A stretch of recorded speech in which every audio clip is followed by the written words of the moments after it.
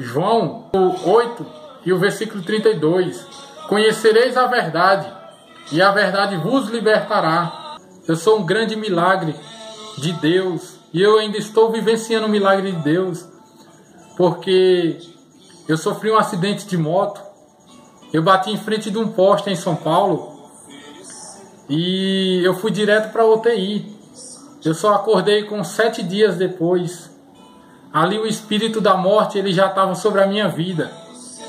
Mas foi um homem de Deus lá no hospital e Deus falou para ele, para ele orar por mim, colocar a mão na minha cabeça e orar por mim e repreender o espírito da morte.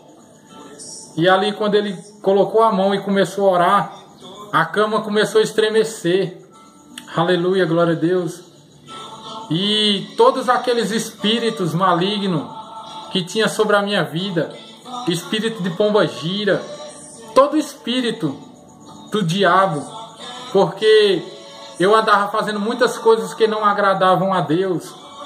Mas Deus ele achou graça na minha vida. Ele me escolheu como ele escolheu a Jeremias no capítulo 1 e no versículo 5. Ele me escolheu antes que eu nascesse no ventre da minha mãe. Ele também tinha me santificado para levar a palavra dele. Aleluia, glória a Deus. Ele já me conhecia. Então ele me escolheu. Então é isso que eu falo para você, irmão. Eu escolhi pela dor. A palavra do Senhor diz que se não vem por amor, vai vir pela dor. Quando Deus tem um projeto, quando Deus tem uma obra, meu querido. Lá em Deuteronômio, no capítulo 32 e no versículo 39, a palavra do Senhor ela vai nos falar: Eu sou, eu sou o Senhor Deus. Aleluia, glória a Deus. Eu mato eu faço viver, eu firo e eu saro, e não há quem escape das minhas mãos. Então, se você tem um projeto de Deus, se você tem uma obra, aleluia, se você tem um chamado de Deus, você pode correr para onde você for. Deus ele vai te encontrar, como ele me encontrou. Aleluia, glória a Deus. Então não se esconda. Deixa Deus fazer uma obra na tua vida. Por mais que, aleluia, glória a Deus, você se esconda, ele te encontre mas ele não quer te perder para o inimigo. Ele vai te ferir, como ele me feriu. Só que depois ele vai te curar também, ele vai te sarar. Aleluia, glória a Deus. Eu vivia numa situação muito difícil, eu sofri muito na minha casa, no hospital. Mas aí foi um dois homens de Deus lá em casa levar a palavra de Deus porque eu estava sofrendo muito. A minha madrasta ela acompanhou um pouco do meu sofrimento na minha casa. E ela foi atrás de alguém para fazer uma oração por mim. E ela encontrou ali um homem de Deus. E ele foi lá fazer uma oração e falou da palavra de Deus para mim. E no final ele perguntou se eu queria aceitar Jesus como meu único e suficiente Salvador da minha alma, não da minha carne. Porque a gente morre, a carne da gente é enterrada.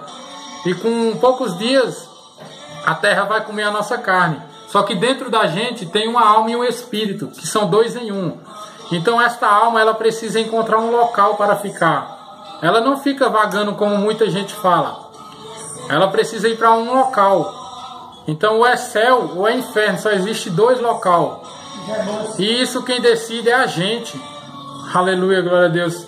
Muita gente fala que Deus é quem sabe quando a gente morre, para onde é que vai.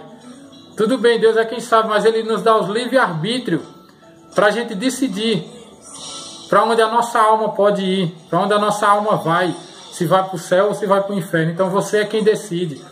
Então, em nome de Jesus Cristo, corra para Jesus porque Ele está voltando. A palavra do Senhor vai nos falar em Isaías 55, versículo 6: Buscai ao Senhor enquanto se pode achar, invocar enquanto está perto. Então, enquanto você está podendo, busque ao Senhor, invoque ao Senhor. Porque vai chegar tempos que você vai querer procurar a palavra de Deus, vai querer buscar o Senhor e não vai encontrar. Então busque enquanto há tempo. Aleluia, glória a Deus. Deus ele tem um projeto na tua vida. Você aí, ó, que está assistindo esse vídeo aí do outro lado, você já teve muitos livramentos de Deus. Deus ele já te deu muitos livramentos. Aleluia, glória a Deus. Então, ele quer salvar a tua alma. E você tem endurecido o coração. Então já chegou a hora. Chegou a hora de você se entregar a Deus.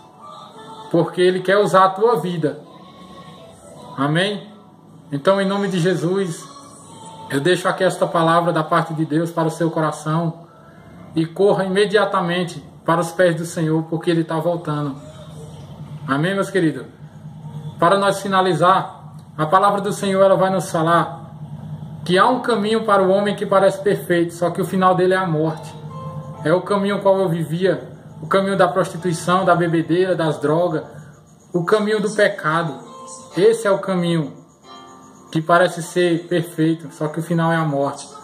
E a palavra do Senhor também ela vai nos falar que Deus ele não tem prazer na morte do ímpio, mas que o ímpio se converta dos seus maus caminhos.